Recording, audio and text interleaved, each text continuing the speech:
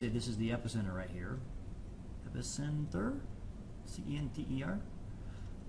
Uh, and the, the waves are going to happen uh, closer. They're going to the, the waves will be closer to you. You'll feel it more than, of course, if the earthquake is way over here. In fact, let's go ahead and watch a short video clip right here where we talk, uh, where we're going to see where um, a seismometer is located and how they do the installation of the seismometer.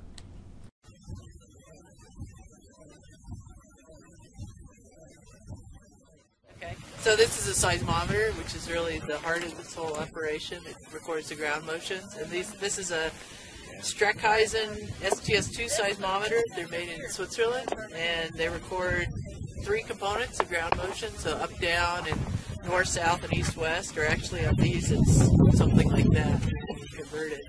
And they record little earthquakes that are close by, as well as big earthquakes that are really far away. So they record from 120 seconds on the long end down to 50 hertz, which so that's called broadband seismometer.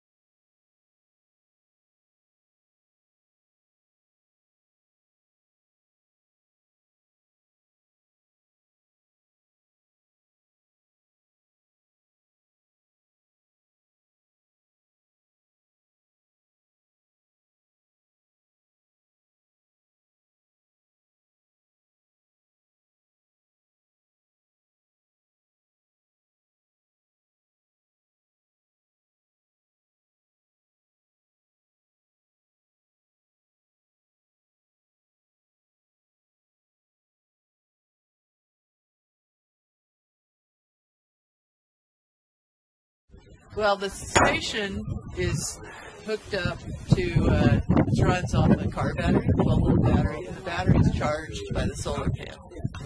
And then the little antenna on the left is a GPS antenna, which is also used in this case for timing rather than for location. It will give location as well. And then on the right, that little tiny white antenna is for the cell phone modem. So, actually sending out the information. right, so the data is going by cell phone onto uh, the internet, and then it goes actually to San Diego, and then is dispersed everywhere.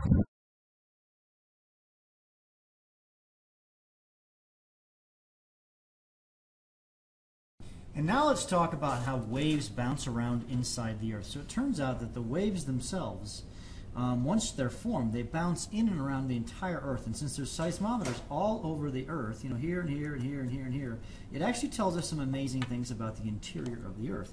It actually is what helps us to understand that there's a core and an inner core and all those kinds of things. But again, I think we should go to our friends, the experts, Mr. and Ms. Mosier, and they're going to talk about how these waves work. Okay, so a little bit of Whoa, there's on us. a there's There was the earthquake. So now you can see as the waves are traveling out from the epicenter of the earthquake, they're being recorded by different seismometers across the globe, and they are bouncing around inside the earth as well.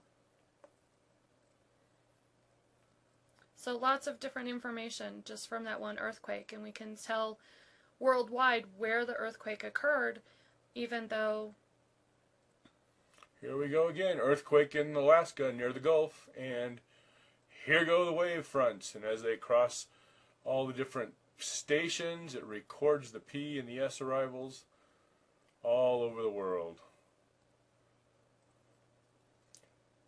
Looks like chaos, but hey, not really chaos. But lots of wave reflections, lots of bouncing around. we have to take all the different seismograms and interpret them all into figuring out where everything took place. So let's talk about time travel graphs and how those work. Actually, I don't want to go there. And so let's take a look at our time travel graphs. So here comes our time. Here they are. Here's a time travel graph. All right. So what you're looking for is remember there's these two waves. There's as you look at the seismogram, that's the S wave, a primary wave, and that's the secondary wave. And so this differential right here um, is a certain amount of minutes. So let's say that that's four minutes right there. So if we've got four minutes right there, what you're going to look is find where the, the gap between here and here is four minutes. You should copy down this graph, or not necessarily with the 13.7 or whatever, but you're going to try and where there are four minutes. Well, you, you know, where down here wouldn't be four minutes, it might be two minutes, right?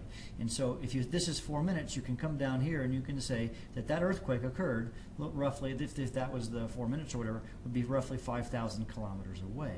And so this, this graph right here, this S and P or time travel graph, is the same for any. And so if I've got uh, several of these, I can actually determine the exact location of the earthquake. And actually, by the size of the of the lines, which we'll learn about later, we can determine how big the earthquake is. Okay, time travel graphs are very important. Now, just some interesting things here. This is actually an ancient Chinese seismograph, and what they do is they have uh, yeah, it's just very innate and uh, but they were measuring earthquakes thousands of years ago the chinese were with a device that looks like this. So it's pretty cool i think and here's another one the mechanical version. You can see the roller right there. So they've been measuring earthquakes for a very long time. So some ancient ones. We're doing it all via computers and stuff these days. Here's the modern version right here. And this is just sitting on a table. We can see looks like right here we've had an earthquake haven't we you can see that pattern that take, took place. Probably yeah. So cool. Okay, and let's talk a look, talk about this one here. This is a really a cool um, seismogram, a seis, seismograph. Pardon me. You can see kind of three dimensions, up, up, uh, you know, uh, three dimensions, left and right, you know, x and y. But then they also have the z one coming out. And so you can see this. You can see how they have the paper. This actually works. It's made out of glass, and it records um, earthquakes. So that's really, really cool. So. So this picture has kind of an interesting thing. It's, it's probably not that clear, but they've actually got the time travel. Um, oops, went the wrong direction. There we go. Hello, Erickman. What do you do? All right, here here is the um, S wave travel uh, limit here. It's just it's just another way to look at it. Not not critical here. This one's an intriguing uh, uh, seismogram. Here we have a particular earthquake that occurred um, near Palmer, Alaska. And if you can see here, you've got the, the P waves first, that's this line right here, and then the S waves, P, yeah, the S waves, and then the L waves. The L waves, the love waves, are the surface waves, right? And you can see how close it was to Palmer, Alaska, okay? This is the distance in miles from the epicenter. And so it came very quickly right here. But then if you go to the next seismograph station in Golden, Colorado, not far from us really, you can see it uh, lasted longer, and they could figure that out. And then the last one, not a very strong record, they call it a quiet record. It's in Bogota, Colombia, because it's very far away. It's more than 6,000 miles away from Bogota, Colombia. But these, knowing these three things, we'll learn later, you can determine where the earthquake uh, occurs based upon something called triangulation. So you can kind of see how this all kind of fits together. And then lastly, let me just talk about these seismic networks. It turns out there are seismic, seismographs, or seismograms, if I can say this right, um, all over the world. And so if you look at each star, these are kind of the main seismo, uh, seismographs all over the world. There are literally thousands of them all over the world, and they're hooked up to the network probably through the internet, and you can figure that all out. Here's actually a zoom in of the United States, and here are kind of the primary ones. Probably the most important one, just as a side note, that everyone talks about is there's an earthquake center in uh, Golden, Colorado. Um, not too far from where I'm sitting right now. And so that's a big one right here. And if you uh, even zoom in even further over here, each of these dots represents um, a seismometer um, in the western United States. So there are lots of them. Obviously, you can see tons of them in, uh, in near California. And of course, that's on purpose because California has a lots of earthquakes. But sort of the primary one that everyone talks about is actually the one in Golden, Colorado. It's kind of a lot of uh, scientists are there who study this uh, particular phenomena. So, my friends, we are done. We will see you in class. Bye.